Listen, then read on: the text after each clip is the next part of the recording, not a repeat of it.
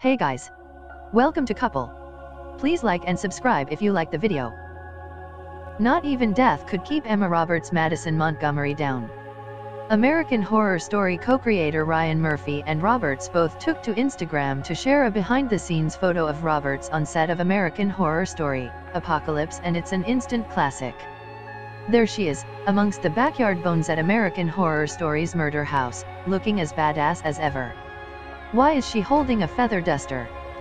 Who cares? The new season features Roberts as her very memeable American Horror Story, Coven character Madison Montgomery.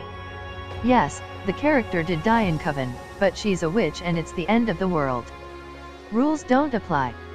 And in case you were worried, there will be more meme-worthy moments for Roberts. Yes, a lot.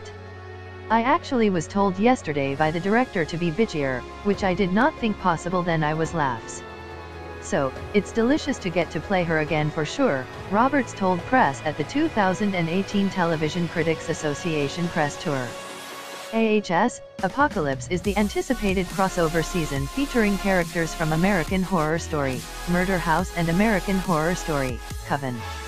In addition to Roberts, the cast includes Sarah Paulson, Jessica Lange, Connie Britton, Taissa Farmiga, Dylan McDermott, Lily Rabe, Frances Conroy, Evan Peters, Kathy Bates, Adina Porter, Billie Lourd, Billy Eichner, Cheyenne Jackson, Leslie Grossman, Gabourey Sidibe, Stevie Nicks, Cody Fern and Joan Collins.